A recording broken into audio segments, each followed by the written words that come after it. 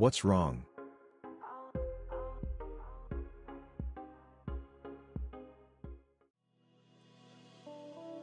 What's wrong?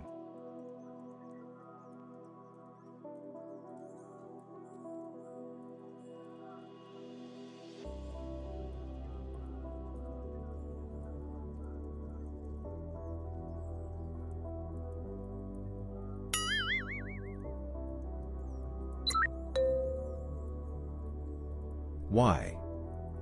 When a question word is the object of a preposition. The preposition most often comes at the end of a clause.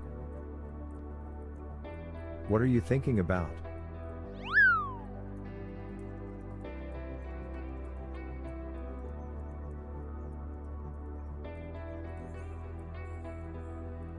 Test your understanding. What's wrong?